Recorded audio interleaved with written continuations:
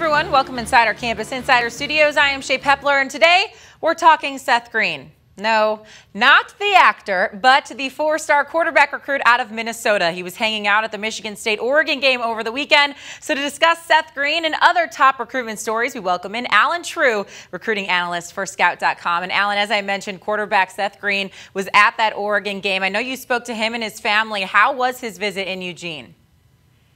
Well, it was hard to have any recruit say it was a bad visit to Eugene. Uh, Oregon always impresses with their facilities and their game day atmosphere, and then you get a win like that. And his dad and him really noted uh, the speed that they saw on offense. They said they're so much faster in person. Seth is a dual threat kind of guy who can do some things outside of the pocket, so I think they were impressed with what Marcus Mariota did for the Ducks.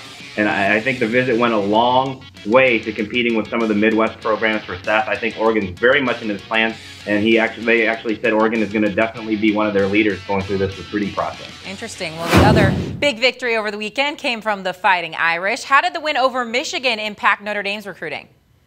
Well, they had a lot of kids there that were considering both Notre Dame and Michigan. I don't necessarily think one game can always stem the tide, but the recruits were very, very impressed. Ben Bredeson, uh, the top junior in the Midwest who has offers from both schools said it really helped Notre Dame out. Once again, night game type atmosphere, and then you put on a win like that. Uh, it was hard for any recruit to walk out of there not impressed with both the campus and the stadium, and then obviously the product on the field. Of course. Well, let's focus in on Michigan and the Big Ten now. Specifically, let's talk Nittany Lions, though. The NCAA has restored Penn State's bowl eligibility. Allen, have you talked to any recruits, and how do you foresee this affecting recruitment going forward?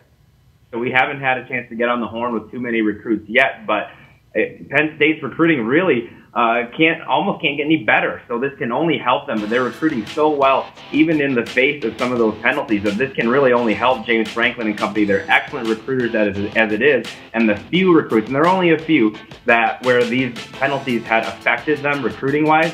I think that's going to go away, and they're going to continue to recruit at a high level. I would expect Penn State to continue to compete for top 10, top five national type recruiting classes. Staying in the conference, Allen, we talked about the two powerhouses that beat Big Ten teams, but what about the Big Ten overall? In addition to MSU and Michigan going down, Ohio State lost, Purdue lost, Northwestern lost. Is the Big Ten recruiting the right type of players?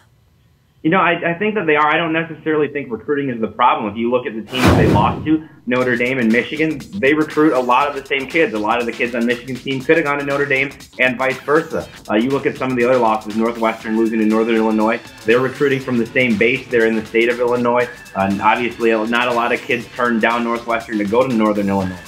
Same thing with Ohio State and Virginia Tech. Ohio State pretty much gets their pick of the litter as far as recruits go. So I don't necessarily think recruiting is the problem on the field, but obviously the conference is going to have to pick it up if they're going to continue to recruit at a high level. Of course. Allen Trieu, thanks so much for the insight as always. Absolutely. Thank you, Shae.